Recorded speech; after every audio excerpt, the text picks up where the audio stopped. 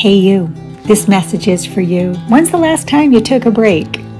Keep listening. Do You know that the Border Collie is truly the smartest dog, and these are the hardest working dogs, too. So, here's what they know they know that they're going to have to bust all day. So, they're very aware of their energy and they try to conserve it. So, the Border Collie will do this beautiful thing, which is to lie down in between its jobs.